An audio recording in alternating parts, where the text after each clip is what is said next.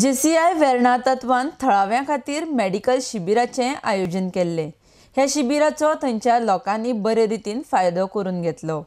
आरडेक्स गोवा खातीर बोगमाळेच्यान John D'Silva I been invited here for the free medical camp and also the breast checkup as you can see there are lot of people who have turn out and it is been very beneficiary both my part and also the patients part It has uh, made me realize that there are a lot of uh, general population that is not aware of the importance of uh, general checkup and also not aware of the concept that health is wealth. They seem to be uh, under the impression that uh, things can be taken for granted and health can be kept aside, not knowing that when you're not well, things can go down Many people have also come to me here telling me that they are not allowed to go out to be checked because of uh, some family issues and all.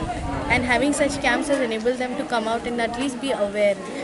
जैसे आगे बढ़ रहे लोगों को ये करने के लिए बहुत अच्छा लगा और ऐसे ही करते रहना चाहिए Uh, it's uh, very happy to see that JCI has organized a beautiful free medical camp, which means a lot of uh, people from different area. Few people are from uh, Bogmalo, Chikalim, Dabolim, Ponda, Siolim. Uh, they have done a very good camp of uh, this free health checkup camp regarding uh, all the uh, in this uh, we are they are focused on ladies especially Uh, we had the medical camp at Bogmalo today, and uh, we are really very, very happy. Uh, we got a very good response. People from all over the taluka were present over here.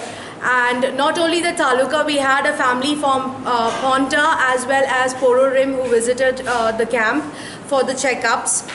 And uh, matter of fact, there were many who were not aware that they had diabetes. So the diabetes test that was done, it made them aware that actually they are diabetes patient too. So doctors and our, our doctors were very kind enough to even consult them and also prescribe them the medicines for, for the same. And uh, not only that, uh, we had a very good response from the ladies for the eye breast cancer screening too, which was also a very successful event today.